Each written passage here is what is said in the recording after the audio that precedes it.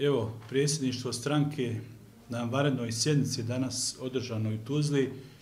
vrlo jasno i jednoglasno je donilo zaključke koji, naj, koji najoštrije osuđuje sve pokušaje diskreditacije određenih političkih krugova i možemo slobodno reći do sad neviđena hajka na dužnostnike Narodne stranke radno za boljitak, koji su konkretno u izvršnoj vlasti federacije za godinu dana značajne rezultate postigli obavljajući svoje dužnosti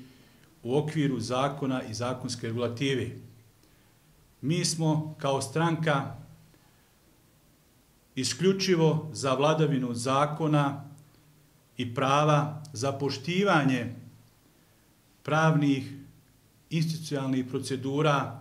ali se ošto protivimo, iskoristit ćemo sva demokratska institucionalna sredstva da zaustavimo one koji pokušavaju na jedan bezobrazan i neciviliziran način montirati određene stvari, pomognuti određenim medijima koji notornim lažima pokušavaju diskreditovati konkretno ministra poljoprivrede i ostali dužnostnike Narodne stranke Radno za boljitak. Ovom prilikom predsjedništvo Narodne stranke Radno za boljitak je jasno i glasno reklo i poručuje HDZ u Bosni i Hercegovine da se okane čorava posla i da Narodna stranka Radno za boljitak iz dana u dan postiže sve bolje rezultate i sve masovnija i da će u narednom periodu pokušati da značajnim reformskim zafatima zajedno sa svojim koalicijim partnerima stabilizirati našu zemlju